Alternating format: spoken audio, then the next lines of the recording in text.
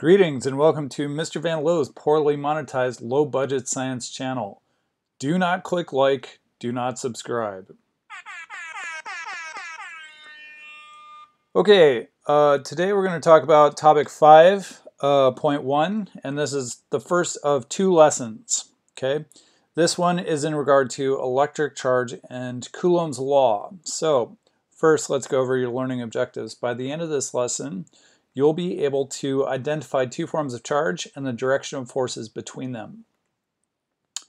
You will be able to explain the quantization of electric charge, describe the relationship between coulombic force, distance, and charge, and state the relationship between Coulomb's constant and permittivity of vacuum. Uh, finally, you'll be able to solve problems involving Coulomb, uh, involving Coulomb's law but that will be outside of the scope of this lesson. That'll be work you do on your own. Okay, so first, let's talk about electric charge. Uh, yes, it can be transferred by rubbing objects together. Okay, so an example of this would be rubbing a balloon on your head. If you've ever done this, it's pretty fun. That balloon will then stick to stuff, and that's an example of Coulombic force. Uh, electric charge can be either positive or negative, and we'll see the sources of those momentarily. Uh, electrons move from one object to another, thereby changing the net or total charge on both objects. And as I said earlier, these charged objects exert a force on each other, such as the balloon on uh, bits of your hair or against a wall which is a fun time. Don't do it on a humid day. It just won't work. Okay, so uh, in this diagram we see like charges. They could be positive or negative, doesn't really matter. But uh, a negative charge and a negative charge here will repel, okay? Uh, and we would say here that the direction of force was positive in this case. Here we have opposite charges, and these are attractive. And here we would be looking at negative force, and when you get into the math, that'll become really apparent pretty quick. Okay, so uh, your force has a positive sign here, your force has a negative sign here. Uh, the blue arrows, of course, show the force acting on these objects. So these are just balls on strings. And you, you can actually set the, this experiment up with uh, some styrofoam balls or maybe even some ping pong balls. You can charge them up with, uh, I don't know, rabbit's fur, silk, or whatever. There you go. So where does charge come from? Answer, protons and electrons. So yes, charge is due to the presence of those things, protons and electrons. And when a substance doesn't have a balanced charge, uh, it then has a charge due to the imbalance. So if it has more protons than electrons, it will be positively charged because protons have a positive charge. If it has more electrons than protons, it will become negatively charged. Protons and electrons have the same magnitude of charge, and that's going to bring us to a property called quantization. Uh, and this will come up a lot in modern physics. Um, so let's chat. Charge only occurs as a multiple of the elementary charge. So you can think of it in terms of like a staircase going up. Um, rather than a slide or a gradient, what you have are steps. Okay, each step then will be a multiple of the elementary charge. Okay, so Every time you add another electron, you go up by this factor, this value. Okay, so you would increase by 1.6 times 10 to the negative 19 coulombs. Oh, I should have animated this. Mm, oh well. So the charge of an object is determined by multiplying the number of excess protons or electrons by this number. Okay, so if you're multiplying by electrons, then your resultant net charge will be negative. So what we're looking at here with the elementary charge is the magnitude of um, charge for either a proton or uh, electron. So uh, if you're dealing with a proton, this is a positive sign in front of the 1.60. If you're dealing with an electron, it would become a negative sign in front of the 1.60 times 10 to the negative 19 coulombs. Okay, so our unit of charge is the coulomb, and as you can see here, this uh, C is representing the coulomb. Okay, our charge only occurs as a multiple of that fundamental charge, which means that it is quantized. Okay, we get that staircase of charge rather than a, a slide. Okay, so according to Wikipedia, a quantum is the minimum amount of any physical entity or property involved in an interaction. So, our fundamental charge, 1.60 times 10 to the negative 19 coulombs, is the quantum of charge. Again, could be positive or negative. Uh, we're going to look at topic uh, 7 and 12 a little bit later, and we'll see that energy is also quantized, which uh, is really cool. And actually, um, the way electrons move is also quantized, so they're, they're orbits around uh, nuclei of atoms. Cool stuff, cool stuff. Okay, so how does charge move around? I think this is uh, helpful. So uh, we're going to look at this in a lot of detail a little bit a little bit later in topic five when we're talking about electricity. Uh, but for right now, we just need to establish a couple of things. First, in solids, only electrons are moving around. So the positive ions are locked into space by the uh, rigid structure of the solid, and therefore they do not move freely. So when we're talking about the transfer of charge in solids, it's just electrons. In liquids, uh, things get a little more complicated because in some conditions, protons can move around. Um, and when we think about uh, protons moving around in liquids, we're usually thinking about like ionic compounds, okay? So uh, the ionic compounds could be in solution or they could be molten. And we don't really cover this too much in physics. This is more of an IB chemistry thing, so I'm just going to leave it here. But uh, just be aware that protons can move around, but not usually in a solid state. Okay, uh, so let's talk about more moving charges. Here we can see uh, two spheres, a negatively charged sphere and a positively charged sphere and they have just been brought together. What happens is some of our electrons jump off of this negatively charged sphere onto the positively charged, charged sphere. Why? Well, it's because electrons hate each other. Uh, when you talk about attraction and repulsion, it's really fun to put it in terms of human relationships, okay? So electrons absolutely despise each other. They want to get as far away from each other as they possibly, possibly can. Okay, so in the case of a sphere, and here we're kind of talking about an ideal sphere because um, in reality, if there are other electric fields or charged objects around, then it complicates the story. But so and in theory, uh, our electrons are going to evenly distribute themselves across the surface of a sphere. Okay. But when two identical objects come into charge, the electrons from these charged objects will evenly distribute across the two identical objects. Okay, so the electron's going to bounce off this onto this guy.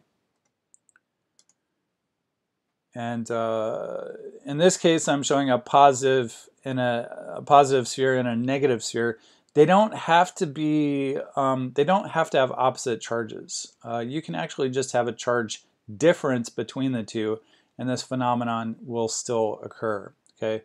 You need a charge differential. Um, if we assume that these objects are identical in structure and size and uh, that sort of thing then after they've come into contact what you're going to find is that they have exactly the same charge. Okay, And uh, what you're also going to find in this particular diagram is you'll have a bunch of electrons on this side of this sphere hiding from the exact same number of electrons hiding over on this sphere. Um, actually, this will be a better image, okay?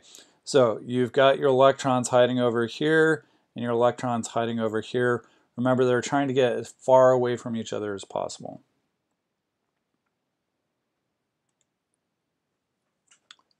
Okay, so next up, we're going to talk about Coulomb's law for electric force. So uh, humans knew that electric force existed for a long time, but we needed a guy named Charles Augustin Coulomb to kind of set things up for us. So he discovered a couple of key things. First, force is inversely proportionate to the square of radius between charged objects, or the distance between charged objects. Okay, so that gives us the first part of our equation for Coulomb's law. What we find is that force is proportionate, uh, or rather inversely proportionate to radius squared. Okay, what he also found is that force is proportional to the charge of objects ex exerting a force on each other. Okay, so what that means is, is that the Coulombic force is proportionate to the charge of object 1, and it also is also proportionate to the charge of object 2. And what that effectively means is that force is proportionate to the product of these two charges.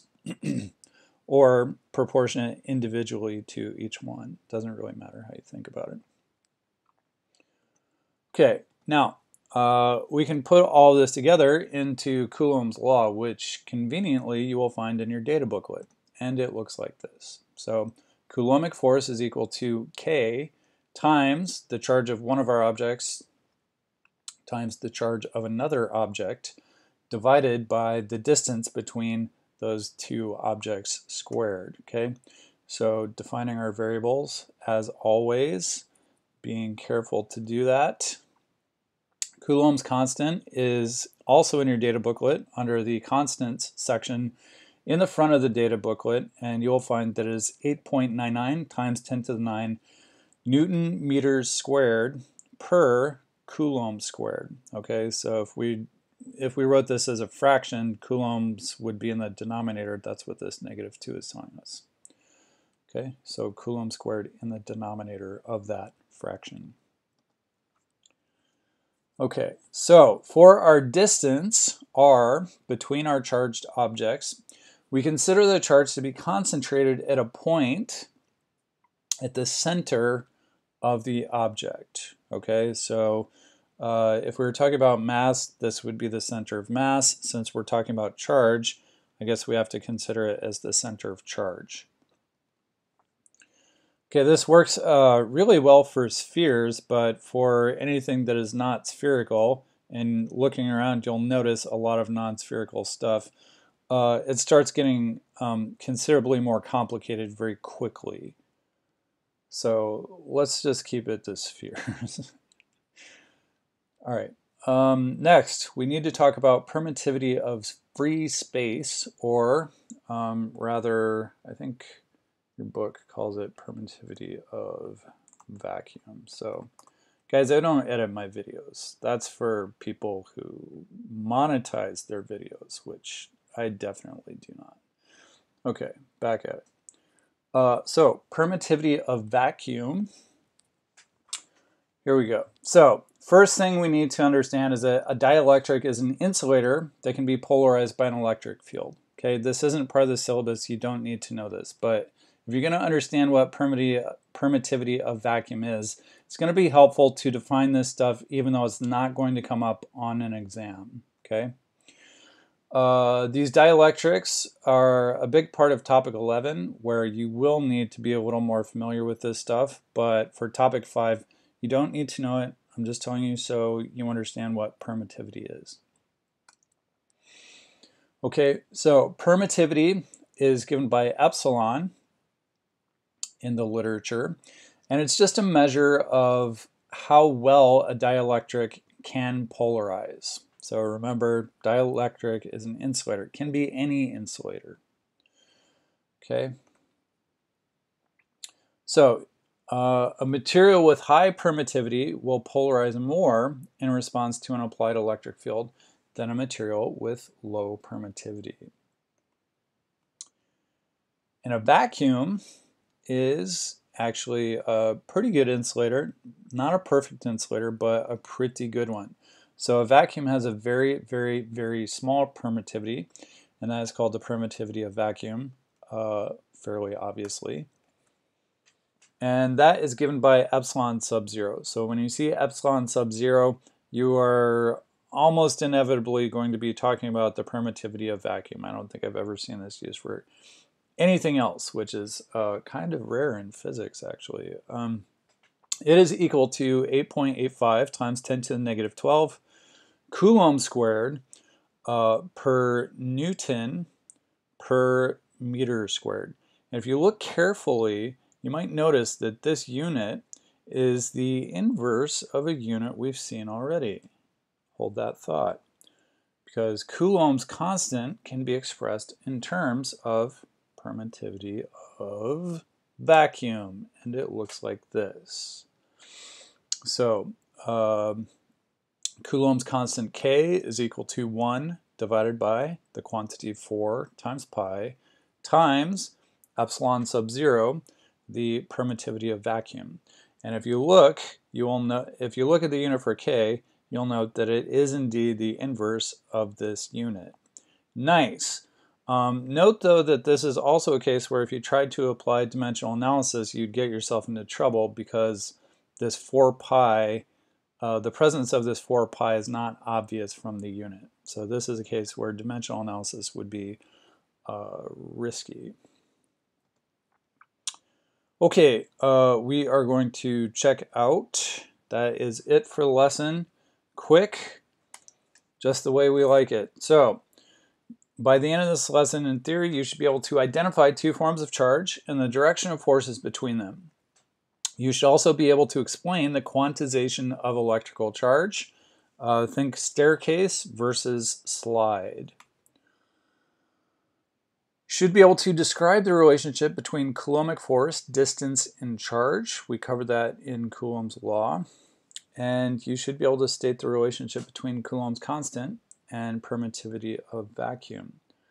You should now attempt to solve some problems, including charge, and Coulomb's law. And I have a handout for my students. If you are not my student, but just checking out this video, see if your teacher has a handout, or when all else fails, go to your textbook, start picking through some problem sets. Okay, so there you go. Uh, be aware that this is only half of topic 5.1, and this will be continued, TBC, to be continued. Okay, finally, uh, these are my sources. Do not click like, do not subscribe. And do have a great day.